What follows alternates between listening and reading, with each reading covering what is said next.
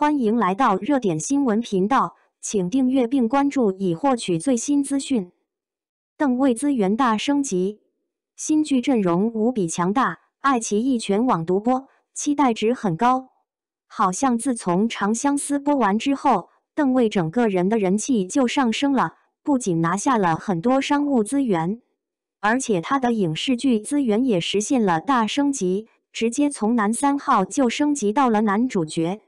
新作品还是根据晋江文学城同名小说改编的古装戏，这部古装戏的评级至少应该也是 S 级起步吧。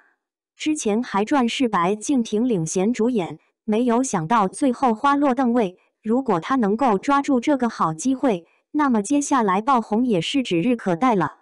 目前由尹涛导演执导的古装电视剧作品《仙台有树》已经首度官宣了全演员阵容。爱奇艺全网独播，而且这部戏的演员阵容非常强大，当真是很令人期待。尹涛手上还是有几部代表性的作品的，比如说《大唐荣耀》《锦衣之下》《天机之白蛇传说》，跟任嘉伦曾经三度合作。虽然《天机之白蛇传说》后面下架了，但是当年的播放量也是很猛的。如果没有那么快下架，也会成为当年的一部爆款作品。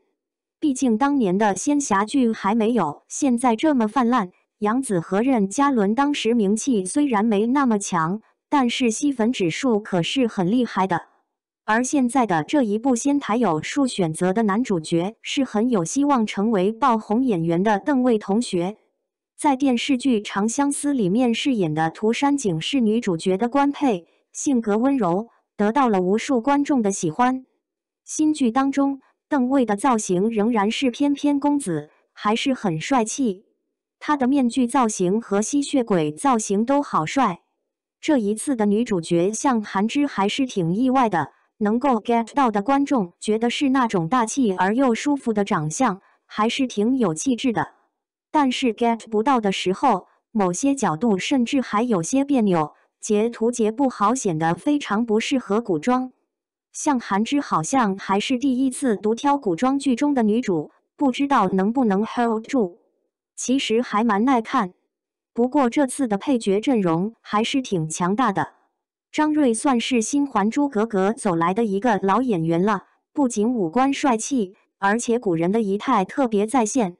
最重要的是他的演技也非常好，台词功底更是没得说。《大唐荣耀》出来的曹玉辰参演了这部戏，在《大唐荣耀》当中，他饰演的是任嘉伦手下的一个侍卫风声一，威风凛凛，也自己主演过小网剧，虽然名气并不是那么高，但是演技还可以，还能认得出来吗？